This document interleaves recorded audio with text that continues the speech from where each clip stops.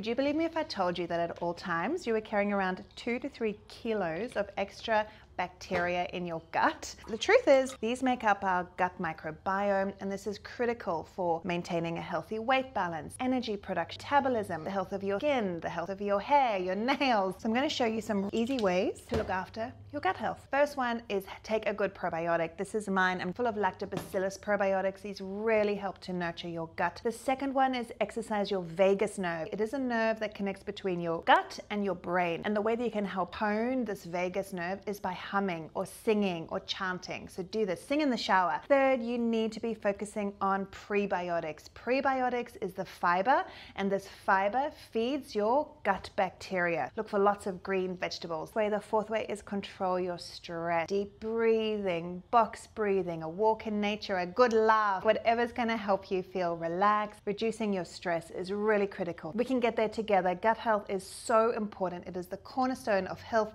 wellness, and beauty.